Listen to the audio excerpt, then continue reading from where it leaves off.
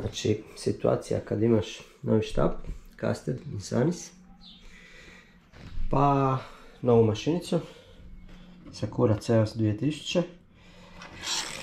i onda ti padne na pamet kako napraviti sistem za namotat predenicu, jer ipak je to sad malo, malo bolja kombinacija, pa treba to namotati kako treba.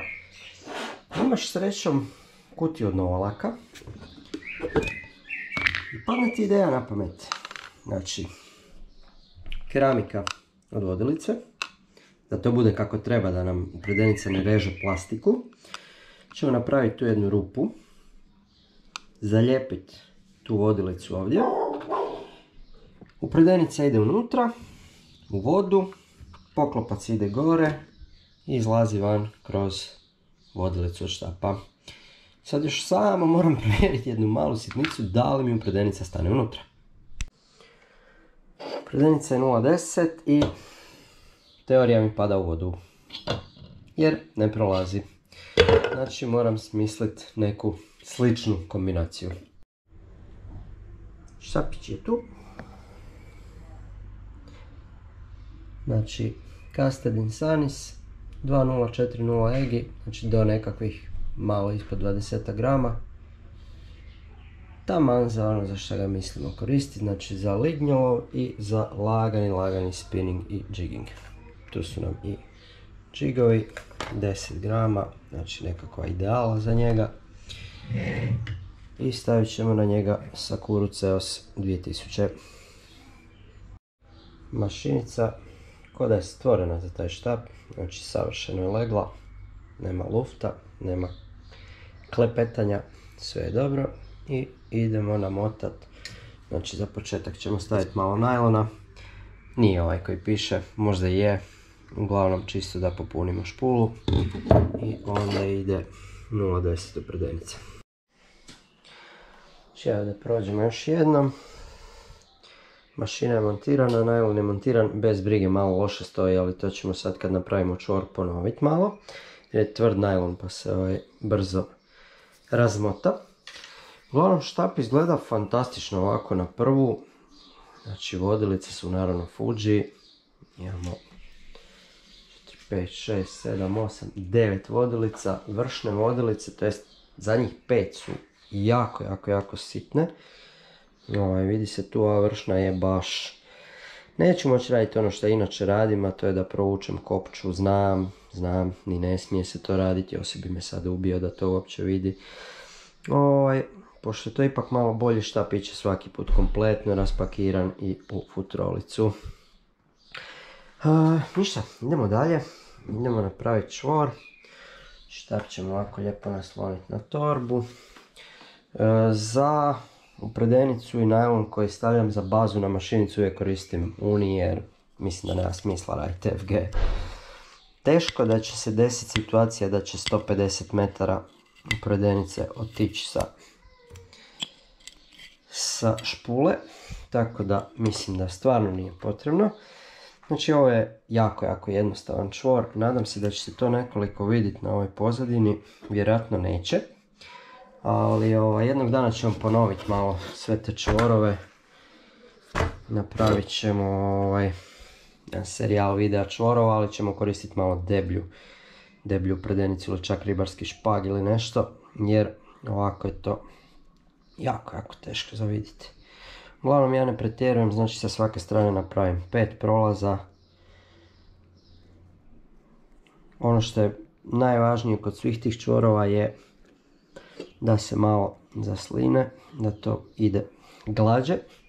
I druga stvar da se ne forsira, znači nikako nekakve, nekakva skosanja, brze neke ovaj, radnje.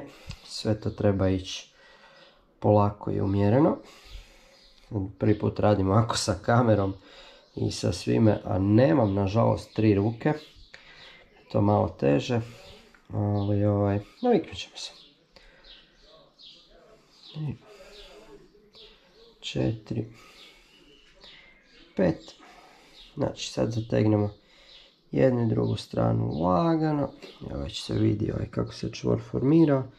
I s druge strane, ovdje je malo velika razlika između tih debljina. Imamo 0,40 s jedne strane i 0,10 s druge, ali nema veze, može se to. Znači, samo pažljivo, pošto je tako velika razlika, ovaj, stisnut ću jednu pa drugu stranu. Inače, ako je to neka normalnija razlika, dovoljno je samo povući oba kraja lijepo, polako, ali čvrsto. I evo, ja se nadam da se čvor nekoliko vidi. To ćemo ovaj, poslikat malo sa mobitelom jer je drugčije. I to je to. I idemo dalje. Imamo kadicu, pošto onaj eksperiment sa kutijom od Novalaka nije uspio. Stižem! Evo me! Znači, kao što to obično biva, prekinuo nas je neko.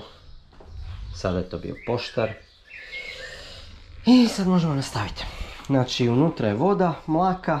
Nažalost, nemam brancinove suze, ni slične preparate. Ali, ko zna, bit će valjda i ovako dobro. Sljedeći put ćemo možda koristiti suze od brancina ako lovimo brancina prije toga.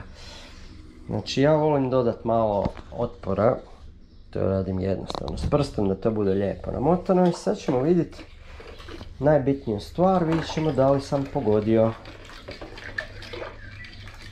Da li sam pogodio dužinu najlona koju sam stavio. Nadam se da da. Ako radite na ovaj način, nemojte to raditi prebrzo. Jer, e, možete malo štetiti u prdenicu. Ako di zapne, e, možete poprskati cijelu kuću. Žene vam neće biti sretne. Ili u slučaju da ste žena, lovite, muže vam neće biti sretni. Tako da je ovaj, nemojte pretjerivati s brzinom. Lagano otpor s rukom. I motanje. Ovo će Vladimir i onako sve izrezat, to, to sam svjestan. Moguće da će izrezati i od, štapa nadalje, ali nije bitno. Ja evo snimam. Ako slučajno ne izreže, vi ćete me slušat, gledat. Dok ja ovo napravim, vi možete, ne znam, promiješati paštu ako slučajno kuhate paštu. Pogledat neki spot, pogledati neki naš kraći video, a ne, to ne možete naši videi su predugi. Znači sve ove pripreme sada radimo jer idemo na jedan specijalni ribolov. Evo ga. Namotano. Da ponovimo. Ovo ćemo probati danas, znači ide peška fondo, jedno metar najlona i onda ova mala igračkica. Ćemo vidjeti hoće li se šta zaletit. Ovo su nam 2 giga, ovo je za noćno, ovo je za dnevno.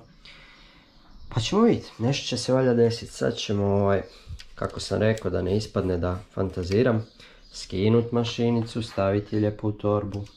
Štap ćemo spakirat, samo ovaj da nađem di mi je futrola.